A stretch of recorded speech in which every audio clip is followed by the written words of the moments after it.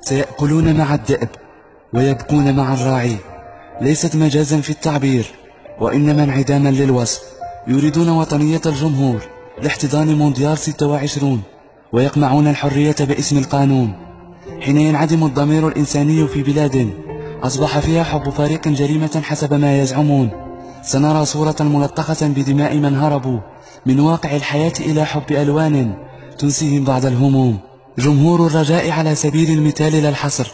وما حدث بمراكش لم يكن صدفة بل هم يحاربون الجمهور أو بعبارة أخرى يحاربون الفريق عن طريق الجمهور. رميا بورود الحقد يفتعلون شغبا مزعوما ويسوقون لما يريدون على قنوات الصرف الصحي وصحافة الخشب. وبعدها سيحرمون الفريق من جمهوره. وهكذا سيحاربون من عرف بالمغرب. ككيان جغرافي وكروي وكقاعدة جماهيرية. ربما بفضلها سينظمون المونديال وربما لن ينظموه إن أرادوا فقط الحرب لأن لكل فعل ردة فعل واستخدام السلطة بالتسلط سيولد الانفجار. إبادة الإلتراس ليست إبادة خلية إرهابية وإنما إبادة لأسلوب حياة. رسم لوحات لطالما صفقتم لها وستلعب دورا كبيرا في ملف الترشيح.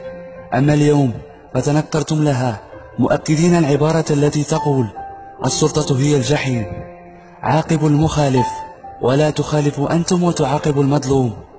الواحد من أجل الكل والكل من أجل الرجاء والشكوة لرب السماء.